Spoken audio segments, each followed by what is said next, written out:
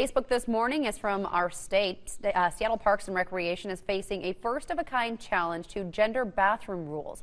A man undressed in a women's locker room last week, citing a new state rule allowing people to choose a bathroom. KREM 2's Allison Morrow shows us why Seattle officials say they're still not sure how to handle this. It was a busy time at Evans Pool, open for lap swim. According to Seattle Parks and Recreation, a man wearing board shorts entered the women's locker room yeah. and took off his shirt.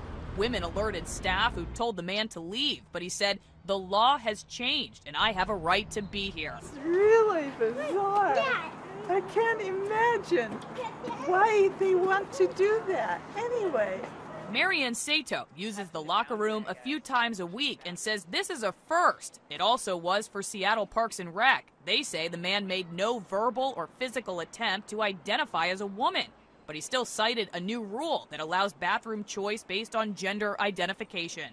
Either identify yourself as a transgender or you're not, and you're just taking advantage of a loophole.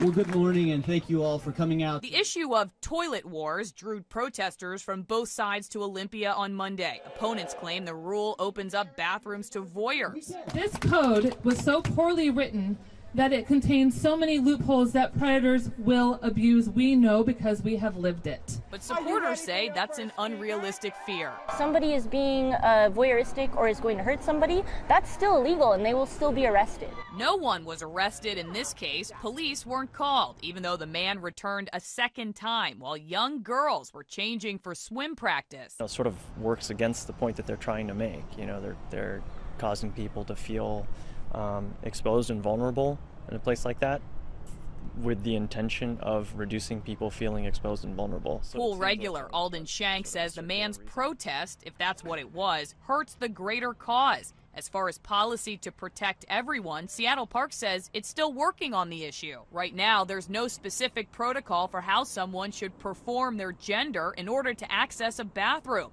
They just rely on verbal identification or physical appearance, and this man offered neither. Right.